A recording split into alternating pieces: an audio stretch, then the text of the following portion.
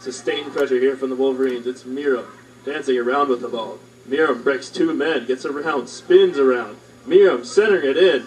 But what a great Right there, Justin Meram showing off his superior ball handling skills as he's been doing all night long, as we just met. We'll take it. Justin Mira, midfield. Mira with a shot from well on. Oh! Knocking up a Schwartz and it rung off the right post. And what a shot from Justin Mira. And a very, very good scoring opportunity, and we've seen a lot of those today. And as I keep saying, it's just a matter of time before getting opportunities like that turns into goals scored. Second half.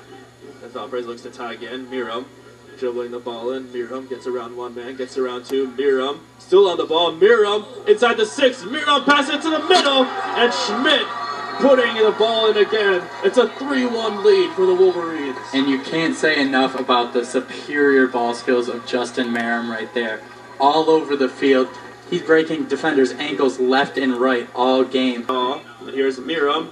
Meram beats one man again. This looks familiar. Meram to Saad. Saad, his second goal of the game.